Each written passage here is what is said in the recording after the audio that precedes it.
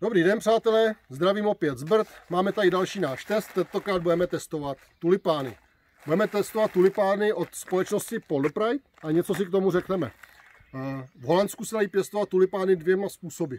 Jeden taková velkovýrobná, ve skleníkách, v takových přepravkách, je substrát, tam jsou ty tulipány, ty přepravky jezdí po takových pásech, jestli je potřeba víc slunce, méně slunce, sklízí se to jak kombajnem, prostě je to taková velkovýkrmna. A pak je několik máro rodinných firm, které pěstují po starém způsobu v zemi, v písku a je to na pobřeží, na pobřeží Holandska, kde je písčitá, písčitá země. A tady ta společnost Polderpride patří mezi ně.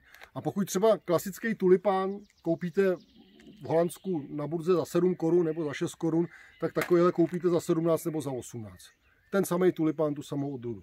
Protože samozřejmě ta ruční práce je extrémně drahá, ale vyplatí se to. Ten rozdíl je v tom, že ten tulipán venku v tom písku roste daleko pomaleji a má daleko silnější pletivo, má daleko pevnější stonek a hlavně vám déle vydrží ve váze. Takže jsme rádi, že, že od společnosti Poldopride přivezeme eh, v sobotu 4000 tulipánů, které vám Eh, v úterý a ve středu pošleme eh, k otestování.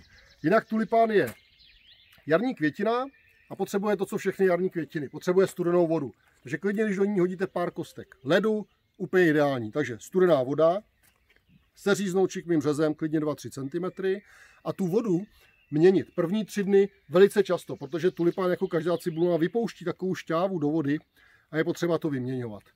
Proto se taky nemají kombinovat tyhle květiny s dalšíma květinama, pokud nejsou zbavené té šťávy. Nedávejte je do tepla. A ještě jednu věc si ukážeme u tulipánů. Když je dostanete od nás, když je vozíme na sucho, tak budou vypadat, to trošku přeženu, ale budou vypadat takhle, budou prostě svěšené. Tulipán, jakmile se dá do vody, tak zafixuje tvar. Proto nechte si ho třeba v tom sáčku, v kterém vám ho doručíme, nebo si je klidně takhle stáhněte novinovým papírem a dejte je napít. Stačí 10-15 minut. Jakmile se napijou, tak stuhnou. Stuhnou v tom tvaru, jakým se napili. Proto když někdo dá do vázy a ty tulipány takhle budou ohlí, ve chvíli, kdy se napijou, tak zafixují tady ten tvár a už s nima nehnete. Takže stáhněte si je na to napití, nebo velice moderní je teď vysoká váza, kam ty květiny dáte celé i s těma květama a oni zafixují ten tvár.